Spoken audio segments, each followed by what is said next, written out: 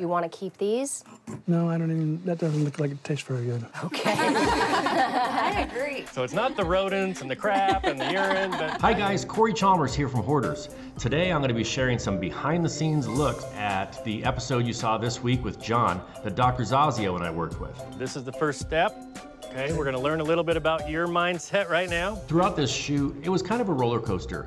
He would have some good times and some bad times making decisions. Take all the, throw all the plastic ones. Okay. Started out in the beginning where he was just kind of letting everything go without putting a lot of thought into it. What about this table? We know from working with hoarders, if they detach from this process, Throw it. Throw it. Just throw that remorse the next day or down the road is going to be real great. Did you take this stuff out of the trash? Sometimes the viewers and the hoarders get frustrated with us because they're like, what's wrong with you? You said you wanted me to let go of stuff. Now I'm letting go of everything and now you're telling me to slow down. So what we look for when we're working with a hoarder What do you need the motor for? Because I'm going to put it on another boat, maybe. is we do want to see some pain and we do want to see some emotion because there's a reason all this stuff is in their house. Do you have money to buy a boat? No? And if we see that they're just easily letting it all go, something's wrong.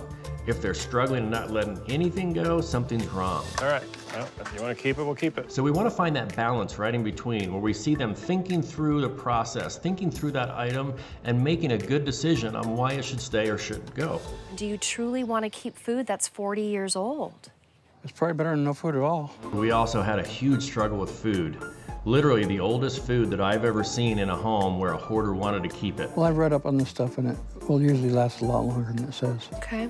42 years longer than it says? It was packaged and stuff, but still, you're talking about really old food. So when we some we see someone that isn't really comprehending that that could be dangerous, that's a real a real concern for us. At least accept there's a possibility that it might make you sick, even if you don't 100% believe it. And it's a concern not only for now, but moving forward with what kind of decisions are they really going to make after we're not even there. Okay. One of the largest problems that we had with John's house during and after the cleanup was the amount of rodents he had in there. Some of the pictures you're seeing right now are photos that I took um, throughout John's house showing the extent of the rodent damage. They had literally chewed through a lot of the walls. They had just destroyed so many parts of this home by eating through everything, even cupboard doors. Uh, which is which is rare, but it shows the the amount of time that these rodents were living in there.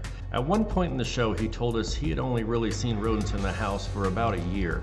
However, from the amount of damage that we saw throughout this house, those rodents have been living in there for absolutely a lot longer than that. Looks like they've even chewed it to make it a little bit bigger. Maybe five years, 10 years, but that caused a lot of damage to his home in the meantime. This is probably uh, the most major infestation I've ever seen in my 10 years uh, in the pest control industry. Sometimes what you don't see underneath is just being destroyed, and that could be furniture, valuables, important paperwork.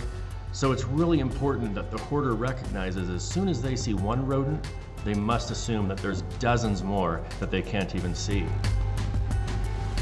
Thank you for watching, you guys. Hi, thanks for being a fan of Hoarders. And subscribe to A&E for more videos and click the links around me to watch more.